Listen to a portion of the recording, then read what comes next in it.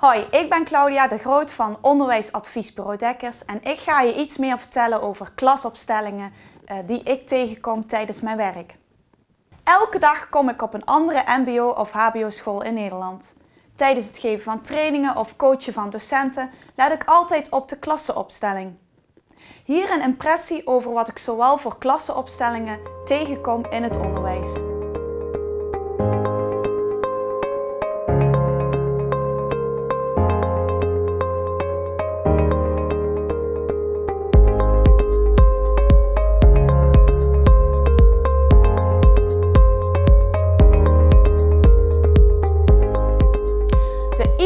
Klasopstelling bestaat niet.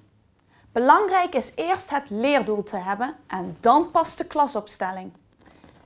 En eerlijk is eerlijk, elke opstelling heeft voor- en nadelen. Ik kom voornamelijk de busopstelling tegen op scholen. Nou, het voordeel hiervan is, is dat rijen beter zijn voor individueel werk, omdat studenten niet tegenover elkaar zitten en zich beter kunnen focussen. Een nadeel is, is dat het niet de meest geschikte opstelling is voor actieve werkvormen en een creatieve aanpak. Studenten achteraan ontsnappen vaak aan je aandacht en je kunt niet altijd makkelijk bij alle leerlingen komen. De klasopstelling beïnvloedt ook het leraargedrag.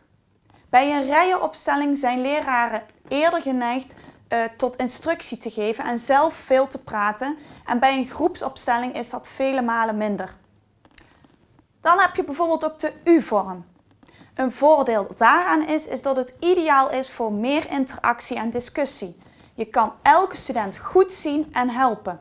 De U-vorm biedt meer kansen om samen te leren en in gesprek te gaan met studenten.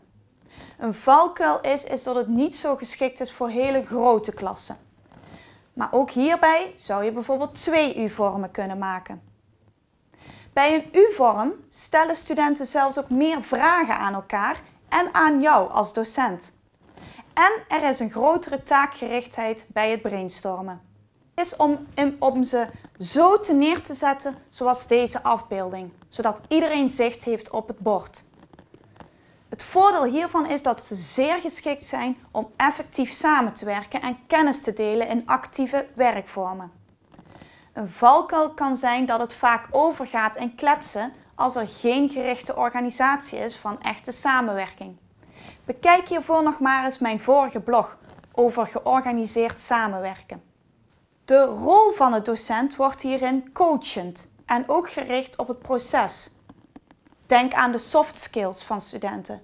Hoe gaan ze om met probleemoplossend vermogen of samenwerking of communicatie? Ik hoop je uit te dagen om je klassenopstelling eens te veranderen, passend bij je doel. Tot slot hoor ik vaak van docenten dat zij geen tijd hebben om de klasopstelling te veranderen. Laat dit dan door studenten doen, bijvoorbeeld binnen twee minuten. Je kunt dan meteen zien hoe de samenwerking gaat.